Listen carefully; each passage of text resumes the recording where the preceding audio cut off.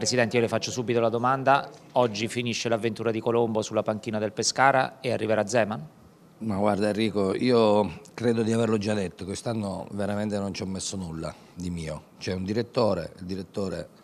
deciderà se vorrà cambiare allenatore e chi prendere, per cui la domanda non sarebbe da fare a me ma sarebbe da fare al direttore, perché se no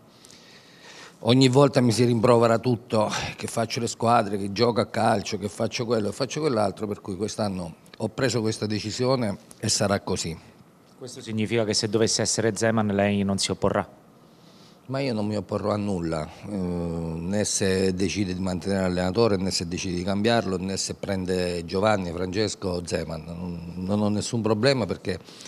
credo fermamente in questa squadra e credo che obiettivamente oggi abbiamo dimostrato che c'è qualche problema perché non è pensabile che noi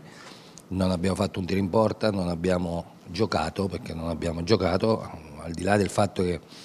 il Cerignola ha fatto una grande partita, eh, arrivava sempre prima sul pallone rispetto a noi e quindi evidentemente qualche problema c'è. Allora, ha anticipato l'analisi della partita che tra poco faremo, Presidente, le faccio l'ultima sulla questione allenatore, era qui fuori poco fa lei proprio con il DS dell'Icarri a parlare, avete accennato l'argomento, immagino di sì, cosa dice dell'Icarri? No, no, non abbiamo parlato anche perché avremo un lungo viaggio da fare, anche se è corto, però in viaggio parleremo. La partita, eh, verrebbe da dire chi l'ha visto al Pescara, si è svegliato nei 5 minuti finali più recupero, di, però più di nervosismo. Ma non è un risveglio quello, non è un risveglio perché secondo me ecco, appunto, è una reazione esatto. nervosa. È chiaro che questa squadra non può giocare buttando il pallone in mezzo all'area, eh, deve giocare a calcio per arrivare dove deve arrivare, quindi non possiamo pensare che i nostri due esterni vengono a fare i difensori, quindi noi dobbiamo pensare siamo al pescare e dobbiamo attaccare. Mi sembra che questa sia una critica forte nei confronti del tecnico. No, no, io faccio una critica non solo al tecnico, ma anche alla squadra, perché poi in campo ci vanno i giocatori, quindi non è colpa sempre di una. È chiaro che purtroppo nel calcio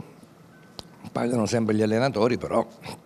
non è una critica, una critica solo a lui. Presidente, io le faccio l'ultima battuta da parte mia, poi do il microfono a Fabio Ferraresi e a Massimo Profeta da studio. Ha detto io quest'anno non ci ho messo bocca sulle scelte, ma se dovesse scegliere il Presidente Sebastiani, cioè se questa situazione era di qualche anno fa, avrebbe cacciato l'allenatore? Ma noi veniamo, è innegabile che noi vediamo da una striscia negativa, ma molto negativa e quindi è evidente che c'è qualcosa che non funziona ed è evidente che qualche decisione dobbiamo prenderla. Le faccio proprio l'ultima, eh, conosce molto bene Zeman, chiaramente io parlo calcisticamente parlando, questa è una rosa adatta al calcio di Zeman secondo Sebastiani? Ma questa è una rosa adatta, adatta a, se vuoi giocare a calcio è una rosa adatta a, a chiunque, non solo a Zeman, per cui questa squadra all'inizio del campionato era sbarazzina, giocava, eh, aggrediva, faceva tutto quello che oggi non fa, quindi evidentemente c'è qualche problema, onestamente non, non mi posso nascondere dietro un dito. Ecco l'auricolare Presidente, quindi Fabio Ferraresi e Massimo Profeta da studio, il Presidente Sebastiani vi ascolta, ma insomma commentando con il Presidente mi sembra che l'esonero sia abbastanza scontato, Massimo e Fabio. Allora la domanda naturalmente la rivolgerà Fabio. No, io Presidente prima con Massimo Ciao, parlavo Ciao Press, parlavo con Massimo di, di una prestazione che secondo me eh, ai giocatori deve far riflettere parecchio perché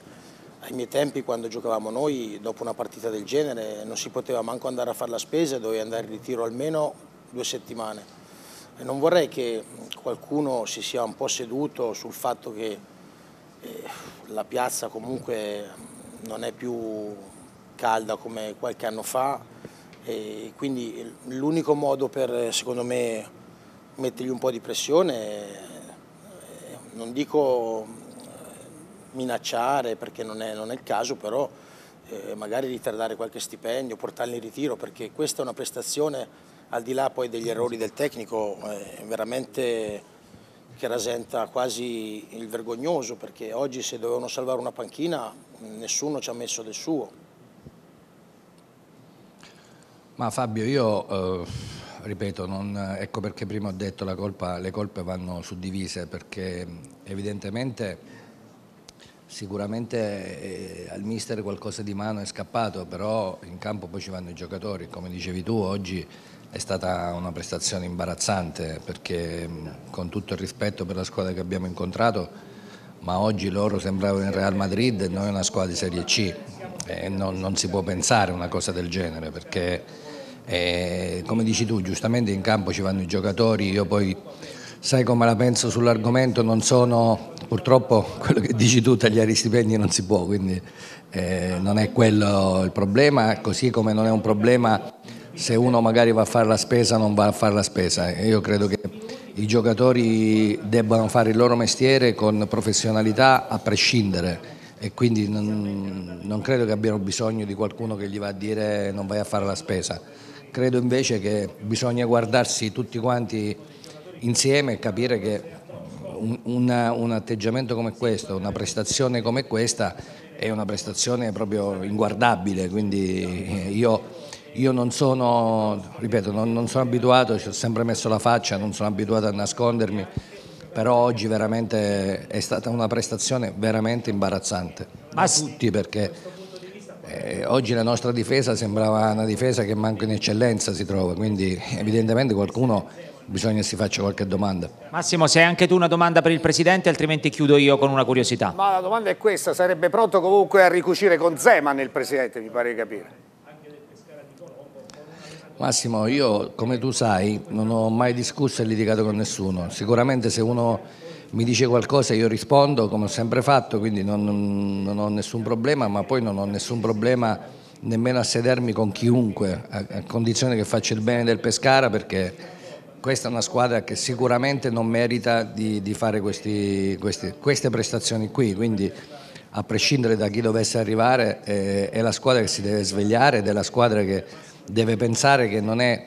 non abbiamo fatto nulla fino adesso e se, se, cioè, se si dovesse arrivare se oggi dovessimo cominciare i playoff con questo tipo di, di atteggiamento non, non, usciamo non alla prima partita, non facciamo nemmeno la prima di partita. Presidente, la saluto così dicendo con Zeman dovrebbe arrivare almeno da voci Gigi Ervese come secondo con Cangelosi che è impegnato, ce lo può confermare questo nel caso? Eh, se voi sapete già tutto io, io non lo so, quindi ancora non, non, prendiamo una decisione, voi già avete messo il primo, il secondo, il terzo, ci manca pure che cambiate qualche giocatore.